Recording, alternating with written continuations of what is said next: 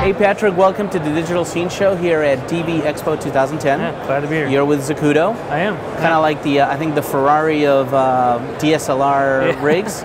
Yeah, yeah, we uh, we make some good products and have some good service. So Very That's what cool. we do. So what do we got in front of you? What's what's the coolest thing? uh, probably the coolest thing is this this bad boy here. This is our double barrel. Uh, put it on here for you. Yeah, show us how it goes. Throw it up on your shoulder and kind of got a nice cinemized. Uh, Man, that doesn't look like a camera package. DSLR anymore. No, it doesn't act like a DSLR Right. either.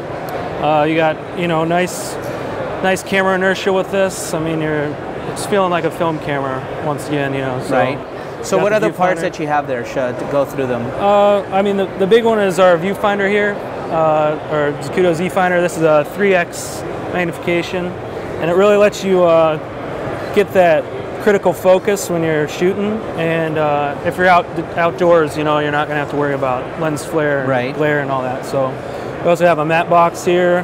This is our DSLR base plate, which is like, kind of like the basis of all our kits.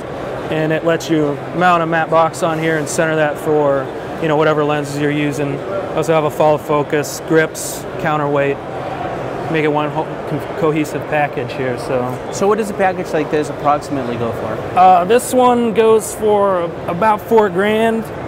Um, it comes with everything but the matte box. The matte box is separate, so it comes with our follow focus uh, set of gears, and you know the grips and everything else. And Your the, follow focus by itself is about a grand, right?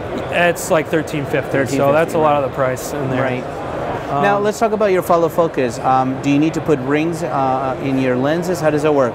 Uh, it works on these uh, these zip gears we call them. Okay. So uh, if you can see it, it has like a buckle type system. Yep. Where you get the zip gears and you can cut them to size for whatever lenses you have. I see. We sell them in like kits of four. You can buy them single. So you attach them to your lens and leave them yeah, there. you attach it to the lens, leave it on, and it just stays on there, and you can full focus on it. I see. Okay. And the viewfinder was how much? The viewfinder is 395. Okay. That's for the pro versions. We have a 2.5 magnification and a 3x magnification. Okay. So uh, the, the pro versions come with a Well, explain a little bit for the people that don't know. What's the difference between the like the three X magnification and the ones that aren't? Why Yeah. Why would you want that? as opposed to like other other manufacturers' Yeah, models or yeah, yeah. Uh, well, the, like our models do magnify it, so you can really like it looks like you're looking at a big screen. So it it magnifies that if your image is out of focus, you can really see and fine tune and get that real nice fine focus. So that's what it helps out with, and of course blocking out exterior light is a big thing. So those are the two things really when you're looking for a viewfinder to to look out for. Yeah, yeah, like the magnification that you like. Like I said, we have a 2.5 and a 3x. Some people think the 3x is too big, so some people like the 2.5. Uh, it's just personal preference, really. I see. Cool.